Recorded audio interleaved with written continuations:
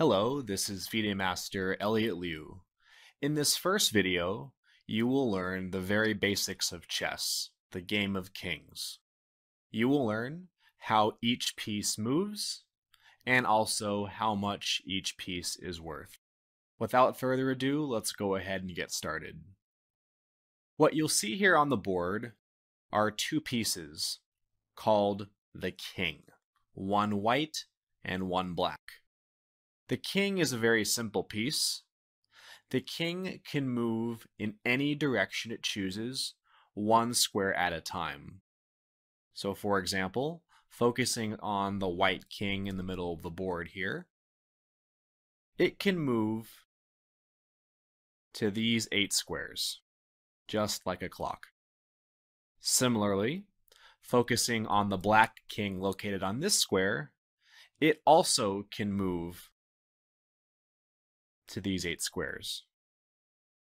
It is important to note that the king in chess moves just like it captures. Or in this case, captures just like how it moves. This is important to note because not every piece in chess captures the same way that it moves.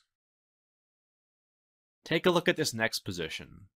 There is one small difference. You might note that in the previous position, the black king was actually located one square up. This small difference changes a couple things. Most importantly, if we were to focus on this white king now, it's important to note that the white king can no longer move to these three squares. Why? Because this black king here on this square is now protecting each of these three squares. Remember, the king captures and subsequently protects one square in any direction. Okay, so in this scenario, the white king can only move to these five squares. The next piece we will learn about has the least value. This piece is called the pawn. At the beginning of each game, each player gets eight pawns to start with. The pawn is worth one point, and it arguably is the simplest piece to remember how to move, along with the king.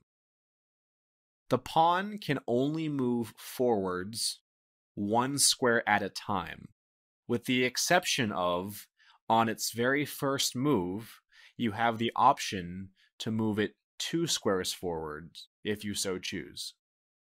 So from this position here, the pawn can only advance one square forward. Now, the one tricky part about the pawn, as we will see in the next example, is that the pawn is the one piece in chess that does not capture how it moves. Okay? The pawn captures one square diagonally. Here's an example. Take a look at this position. So now we see three black pawns located right here. Ask yourself, what are the only possibilities for white in this position? Notice that because of this pawn right here, the white pawn cannot advance forward because the black pawn is blocking its progress. However, the white pawn is able to capture these two pawns. I mentioned that on its very first move, the pawn has the option of advancing two squares forward instead of just one. So for example, this pawn here, and by the way, the pawns start on this second row for both colors, the pawn can move two squares forward. And of course, black has a choice as well if he or she chooses you can advance your pawn two squares forward, but of course you don't have to either. You can advance your pawn one square forward, and that's perfectly fine. But remember, once you move your pawn after its first move, whether you move it one or two squares forward, it can only advance forward one move at a time from thereafter. Okay? So here, for example, if black decided to move his pawn to this square, the white pawn's only move is to take this pawn. And unlike checkers, if you're more familiar with that game, or draughts in the so called international tongue, instead of jumping over a piece like this and removing it from the board in chess, you simply just capture the piece and replace it with your own.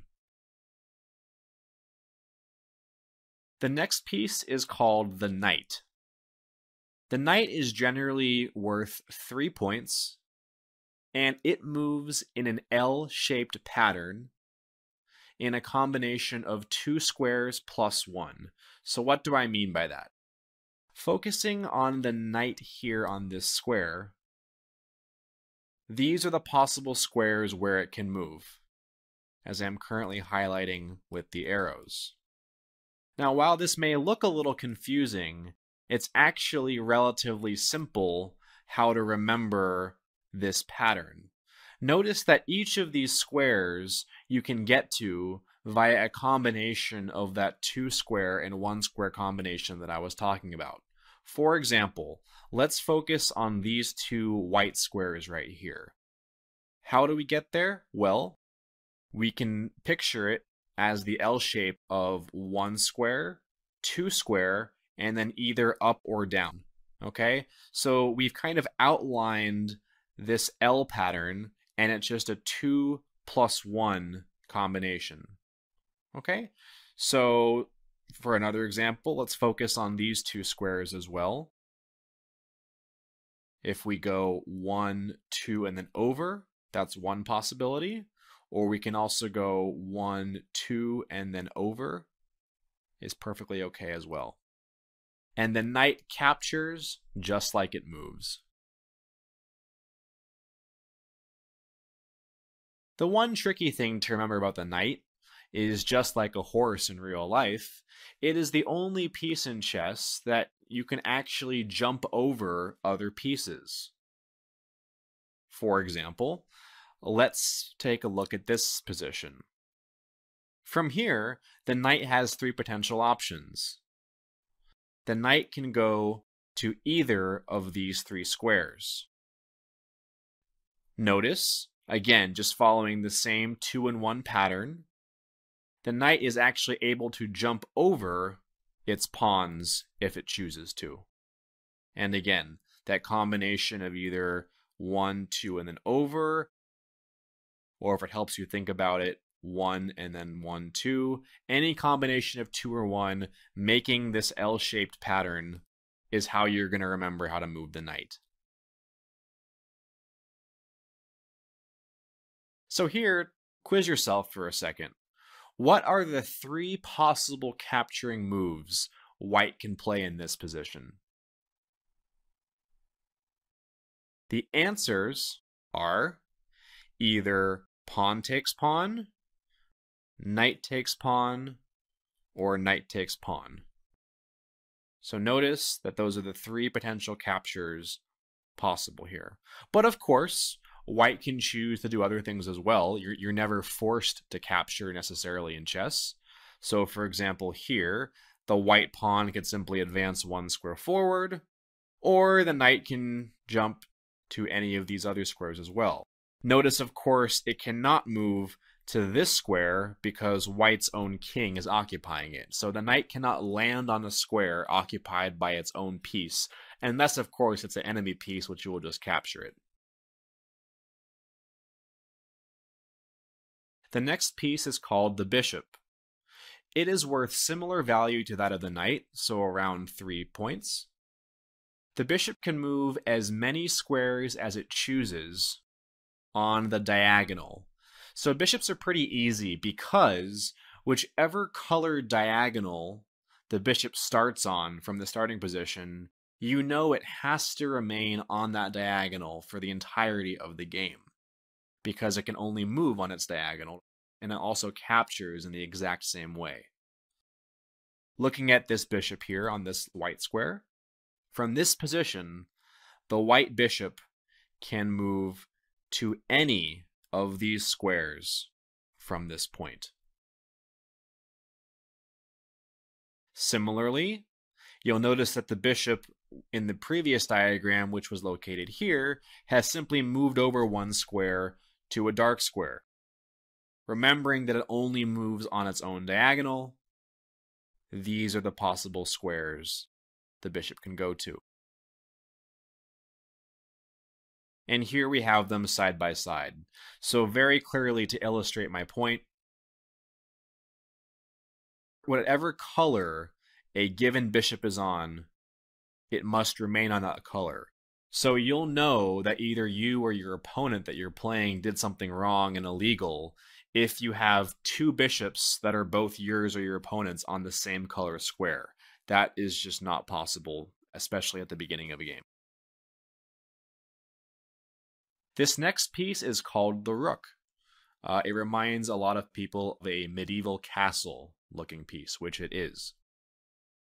The rook is a pretty powerful piece. It is generally worth 5 points, so pretty much almost double that of a knight and or a bishop. The rook can move as many squares as it chooses, forwards, backwards, or laterally side to side. So from this position here, this rook can move to any of these squares if it so chooses. As a little quiz to see what you guys remember, ask yourself what might happen if white decides to move his rook to this square. You'll notice that this actually puts it in danger of the opponent's king. And in this situation, the black king can simply just capture white's rook, which would not be good. And the rook captures the same way that it moves. Last but certainly not least is the most powerful piece in the game the queen. The queen is worth nine points, and the reason why it's so valuable is because it moves like a combination of a rook plus a bishop. Okay, so thinking about how a rook and a bishop move, if you take a rook's possible movement, as many squares forwards, backwards, or side to side, plus a bishop's movement, as many squares as you choose diagonally. That, my friends, is how the queen moves. So you can immediately see how powerful it is because it has so much scope. In a given position, especially an open position, there are so many possible squares a queen can go to on a given move. And that's it, guys. You have learned in this first video what each piece does, how it can move, and how many points it's worth. Stay tuned for the next videos on your chess journey. Thank you.